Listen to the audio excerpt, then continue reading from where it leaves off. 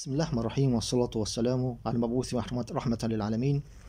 مع كنز جديد عظيم آه، من كنوز السنة لا يعلمه أكثر الناس الفضل العظيم لقراءة القرآن أو لقراءة أو لنشر المصحف بعد صلاة الصبح آه، حتى تشرق الشمس أو أو فضل آه، فضل قراءة مئة آية من المصحف مع نشر المصحف بعد صلاة الصبح.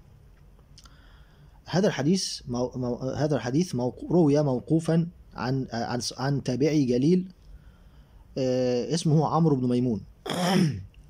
عمرو بن ميمون سيدنا عمرو بن ميمون قال آه، قال حديثا موقوفا موقوفا إحنا قلت لحضراتكم حضراتكم قبل ذلك أن الحديث الم- الموقوف آه، يكون آه، موقوفا على صحابي أو تابعي يعني يكون من كلام الصحابي ليس ليس مرفوعا إلى النبي صلى الله عليه وسلم بمعنى الصحابي أو التابعي ما يقولش قال رسول الله ولكن يقول يقول كلاما عن لسانه هو. وقلت لحضراتكم قبل ذلك أن جمهور العلماء كالامام كالإمام أحمد وغيره وأعط- واعطتكم أعطيت- وأعطيتكم أمثلة حية من السنة قبل ذلك. قالوا أن ما يقو- ما يقوله الصحابة والتابعون موقوفا عليهم ينزل منزلة آه، المرفوع إلى الرسول صلى الله عليه وسلم لأن أصحاب النبي صلى الله عليه وسلم والتابعين لا يتكلمون إلا بعلم عن الرسول صلى الله عليه وسلم وإلا ولا يتكلمون إلا عن وحي. ودتكم مثلا حيا في حديث عظيم رواه أب- أبو قلابة وهو من كبار التابعين آه، أنه قال آه، إن في الجنة قصر لصوام رجب. وشرحت لكم معنى الحديث دوت. قلت لكم القصر ده بيبقى عظيم جدا وكلمة صوار معناها المكسر من الصيام في الرجب. والامام أحمد حسن الحديث أو صححه وقال لا يقال بهذا إلا عن علم عن رسول الله صلى الله عليه وسلم. بمعنى إن أبو قلابة لا يتجرأ ويقول هذا الكلام إلا إذا كان بلغه بعلم عن عن الرسول صلى الله عليه وسلم. أو أو أخذ هذا العلم من أصحاب النبي صلى الله عليه وسلم لأن التابعين آه، تربوا على أيدي الصحابة وعصروهم وسمعوا منهم. فينزل يعني يكون كلا يكون كلامهم معتبرا عند عند آه، عند آه، كثير من العلماء أو عند أصحاب ف سيدنا عمرو بن ميمون بيقول من نشر مصحفا حين يصلي الصبح فقرأ مئة آية رفع الله له مثل جميع أهل عمل أهل الدنيا. يعني اللي يقرأ. طبعا هنا الحديث يعني ظاهره يقول لك حين يصلي الصبح يعني أثناء صلاة الصبح. لا هو يعني عمرو بن ميمون بيقصد اللي بيقرأ 100 آية بعد صلاة الصبح لأن ما بينفعش إن الإمام وهو بيصلي في الجا- في الجامع يقوم الناس وهو حافظ يحط مثلا مصحف على حامل ويقرأ منه. وما ينفعش المأمومين وهم بيصلوا آه لأن هو بيقول إيه؟ من نشر مصحفا حين يصلي الصبح. فقرأ مئة آية رفع رفع الله له مثل جميع رفع الله له مثل جميع أهل عمل الدنيا. يعني اترفع له قد عمل أهل الدنيا كلهم طب ده ده, ده حسنات تبقى قد إيه لما لما يرفع عليك قد عمل أهل الأرض؟ ف فإذا كان يبقى اذا هو يقصد حين يصلي الصبح يعني في التوقيت يعني بعد صلاة الصبح أو بين صلاة الصبح لشروق الشمس. لأن مستحيل الإمام الحافظ وهو واقف في الجامع هيفتح مصحف. هذا يخالف هدي النبي صلى الله عليه وسلم والصحابه والصحابه والتابعين. عمر ما الرسول صلى الله عليه وسلم فتح مصحف ولا سيدنا أبو بكر ولا سيدنا عمر وهو بيصلي. مع إن النظر في المصحف عبادة لكن ليه ليه؟ لأنك أنت هتبص في المصحف مش هتبص محل السجود. هتضطر تقلب الصفحة. كل هت... إذا ستفعل حركات ليست من هيئة الصلاة. ليست من هيئة الصلاة. هذا يخ... يعني هذا هذا يخالف هدي النبي صلى الله عليه وسلم. يجوز هذا في النوافل. يجوز هذا في النوافل عند الضرورة. عندما يكون الإنسان غير حافظ بيجيب حامل ويحط مصحف ماشي. النوافل تختلف عن الفروض. أما الفروض فلا. يبقى اذا يبقى اذا عمرو بن ميمون بيقصد عمرو بن ميمون بيقصد بعد صلاة الصبح. شوف بقى الصواب العظيم. ابن- قال ابن غازي مثل هذا كله لا يقال إلا عن توفيق. ابن غازي أيضا من كبار العلماء آه، من كبار علماء المغرب. كان في كان في بلد آه، آه، مكانس مك- أو مك- مكانس أو مكانس في المغرب. توفى سنة 910 هجرية. وهو من كبار هو أيضا من يعني إمام وحافظ ومشهود له بالعلم والفضل وله كتب في التفسير وفي الفقه وفي الحديث.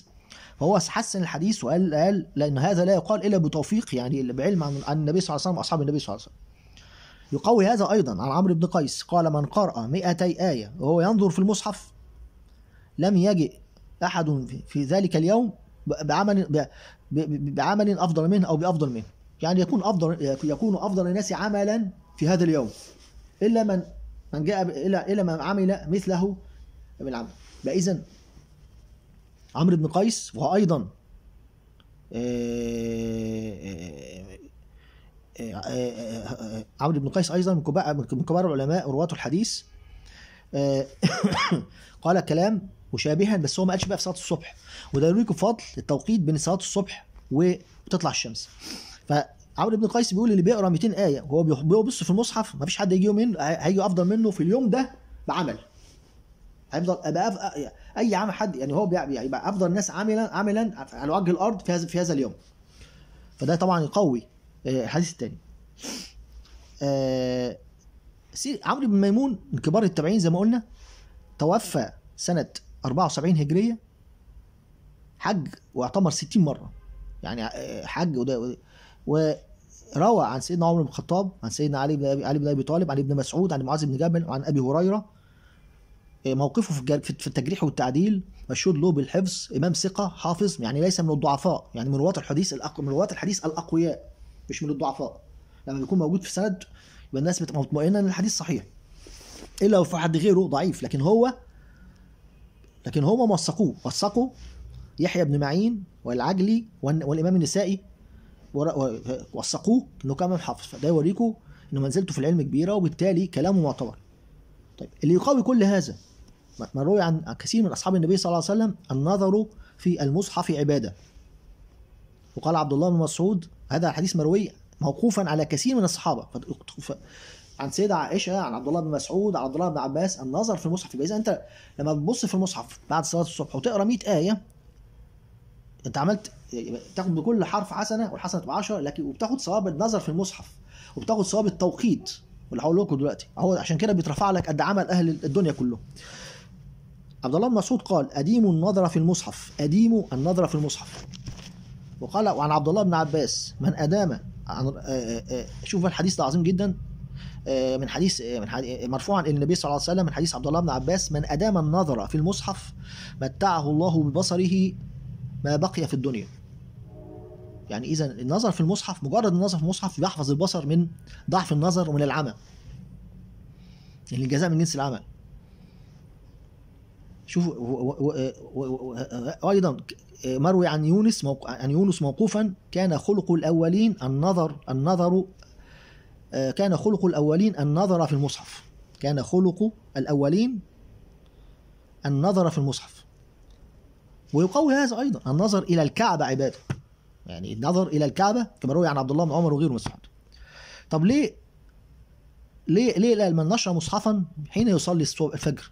لأن التوقيت بين صلاة الفجر لغاية ما تطلع الشمس توقيت توقيت مبارك جدا وعظيم جدا. تقسم فيه الأرزاق. لذلك مفيش حد من الصحابة والتابعين كان ينام أبدا بعد بعد صلاة الصبح. لذلك عبد الله بن عباس لما لقى آه، آه، وجد ابنا له نائما ركله برجله وقال أتنام في الوقت الذي تقسم فيه الأرزاق. وواحد كان عايز سيدنا عبد الله مسعود ابن مسعود في مسألة معينة. وقف على بابه لغاية ما طلعت الشمس وبتاع و- و- و- يعني و- و- فقال له ما خبطتش عليها ليه؟ قال له كنت أنا كنت اظنك نائما أو خفت أو خفت تكون غاضب عبد الله بن عبد عبد مسعود مسعود قال له أتظن بقال بقال ابن مسعود السوء. كيف ننام في الوقت الذي تقسم فيه الأرزاق؟ لذلك شوفوا بقى الفضل العظيم للفتره بين صلاة ال... لذلك ما فيش حد من الصحابة ولا التابعين كان بينام ابدا بين صلاة الصبح إلا لما يكون عنده عذر مسافر تعبان آه، تعبان تعب شديد وتبقى بتبقى استثناءات. لكن القاعدة عندهم إنه لازم يبقى صاحي بين صلاة الصبح والفجر لذلك نشر المصحف والنظر فيه والقراءة منه صعب عظيم جدا. لذلك أنا أقترح على حضراتكم قراءة سورة الواقعة. أنا أفعل ذلك. تنشر المصحف مش هتاخد منك سبع دقائق ليه سوره الواقعة؟ لأنها تنفي الفقر وتجلب الرزق. يعني عبد سيدنا عبد عثمان بن عفان لما عبد الله بن مسعود كان في فراش الموت قال له أأمر لك بعطية أو لبناتك بعطية؟ قال لهم تركت لهم قال تركت لهم سورة الواقعة يقراها كل يوم. سورة الواقعة فيها 98 آية. بعد كده ممكن تراجع تبص تقرأ سورة صغيرة تراجع سورة كنت حافظها بحيث إنك يبقى المجموع أكتر من 100 آية 100 آية أو أكتر. طبعا لو قرأت 200 آية تضاعف الثواب لو قرأت 300 آية تضاعف الثواب. فثواب عظيم جدا جدا. فكنز عظيم ان النشر المصحف القراءة من المصحف بعد صلاة الصبح ثواب عظيم جدا. فيا ريت كلنا نطبق هذه السنة وأنا هكتب لكم الكلام ده في في الوصف بتاع الفيديو. سخون شو نشر هذا العلم في ثواب عظيم ومن علم علما له أجر. من عمل بها من القيامه تنسوش تفعيل الجرس والاشتراك في القناة. ليصلكم كل جديد تساعدون على السنة أقول قولي هذا استغفر